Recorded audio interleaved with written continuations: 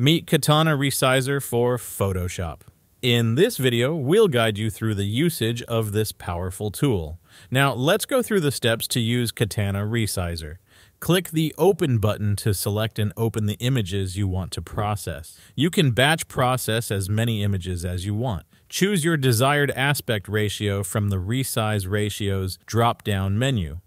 Click Save To and select the folder where you want to save the processed images. Select the output format from the Save As drop-down menu. Use the quality slider to set the desired quality for your exports. Click Start to begin the resizing and exporting process.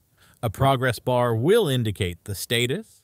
Once the processing is complete, a message will confirm successful processing and the output folder will open automatically. Visit our Gumroad page to get your copy now. Resize any image to any popular resolution in seconds.